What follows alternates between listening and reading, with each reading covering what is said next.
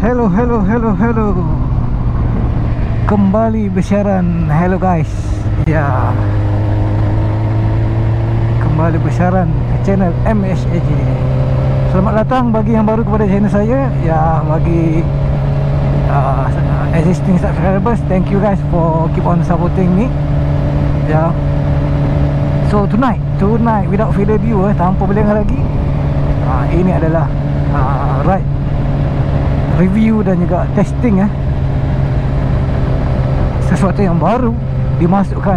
Ha, Dimasukkan Ini Sesuatu yang baru je Being install Ke motor ini. Okay Kalau korang perasan Immediately. Apa yang baru guys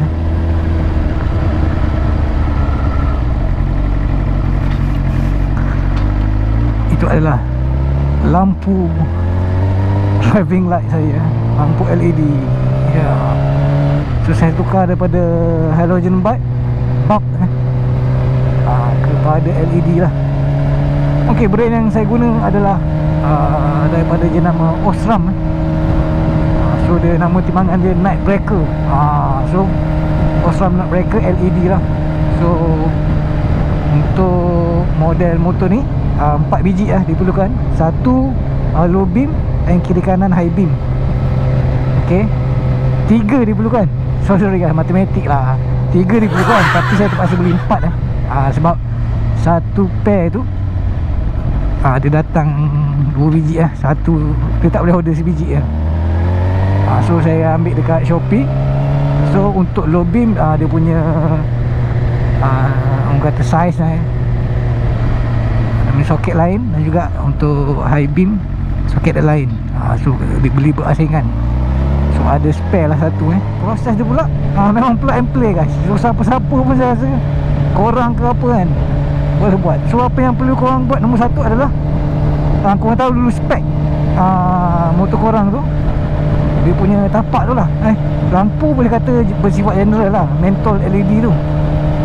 Tapi yang bezakan dia tapak Dia ada H1, H2 H2 ada ha, H4 saya tengok H11 ha, So So long korang ada you owner manual ke Ataupun manual powerman tu Korang tahu spek apa sebab Dia memang tak clearly tulis lah. Takkan korang nak buka lampu dulu baru tahu kan. So at least korang dapatkan manual dulu Tengok Spek ha, And then order online. So far Alhamdulillah lah uh, Yang tengah saya ni S11 Memang plug and play. Dan yang belah kanan saya ni SB3 eh Ikut manual Memang plug and play juga. Uh, So lagi satu lampu keempat yang saya so, Satu tengah Dua kiri kanan Satu lagi position light eh. uh, Itu pakai uh, LED biasa je lah. T10 punya size. Uh, So basically uh, Kalau rupa daripada depan uh, Keempat-empatnya sudah. Putih lah ha, compare tu. So ni keempat-empatnya adalah kuning. Ok guys saya akan tunjukkan cara-cara sebab uh, lampu punya switch ada kat belakang. So kita terpaksa buka meter ni. Uh, memang terpaksa buka guys. So cara-cara buka meter very senang lah. So technically satu satu screw kat sini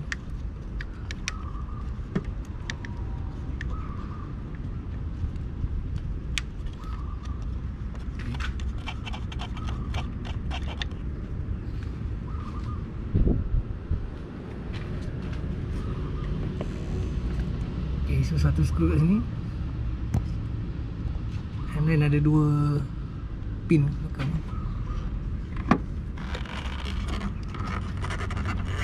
Oh, okay. okay nampak eh? So ni satu. Ada dua lebah Okay, untuk dapatkan more clearance Kita buka lah dia Okay guys. Ah, So dua lah. Satu sini. Ah, ni.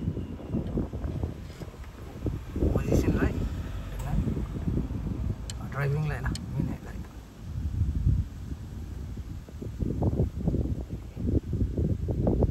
Okay guys. As per the instruction lah. Kita just perlu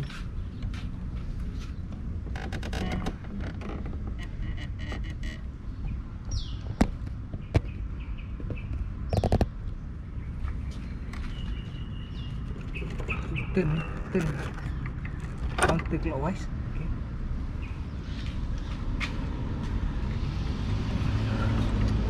turn it counter clockwise and then bring up the bulbs the bulbs can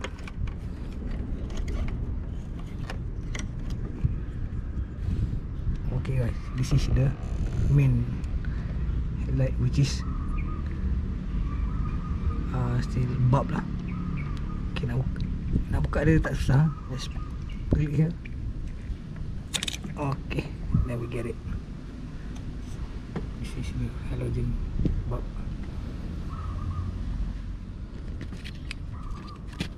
Okay guys yang saya tukar ni LED ni. LED uh, when driving H11 lah. So it should be plug and play lah. So design the design definitely ngam lah okay now kita plug in this thing.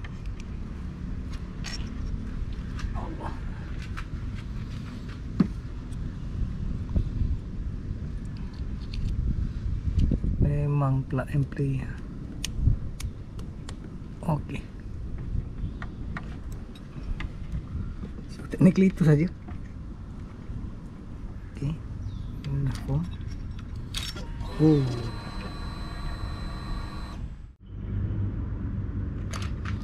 Okay, untuk position light bersama Turn it counter clockwise. Okay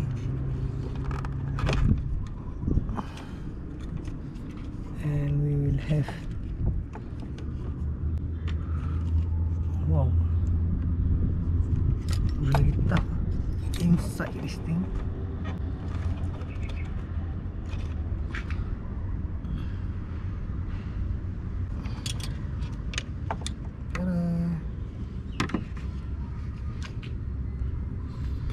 all getah base guys so, Tadi jolok sikit Untuk tarik dia keluar lah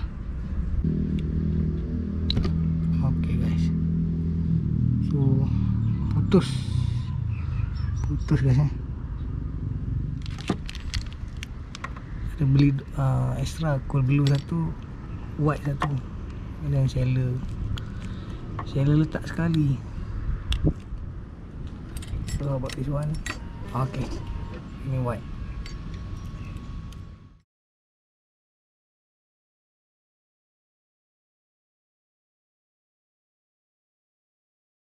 Ah, puas hati guys.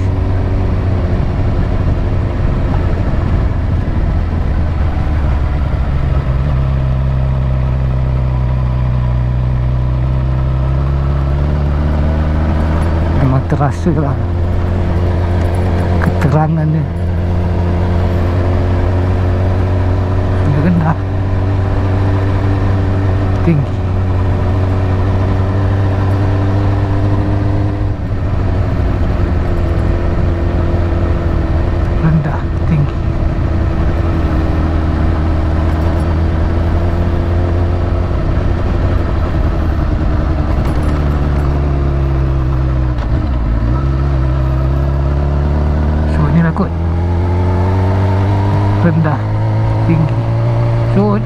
bukit atas nampak bukit atas. Tak nampak bukit atas nampak bukit atas. Upgrade ataupun changes yang berbaloi dan puas hati kan? Ok guys. Terima kasih yang layan sampai ujung so hopefully uh, korang suka konten ni dan nantikan uh, saya akan buat satu thumbs up lah eh. apa yang dah saya tukar dan saya buat pada motor ni. Uh, so bagi yang belum subscribe uh, make sure korang subscribe uh, channel saya sebagai tanda sokongan Terima kasih guys. Then jumpa lagi di konten-konten akan datang. Assalamualaikum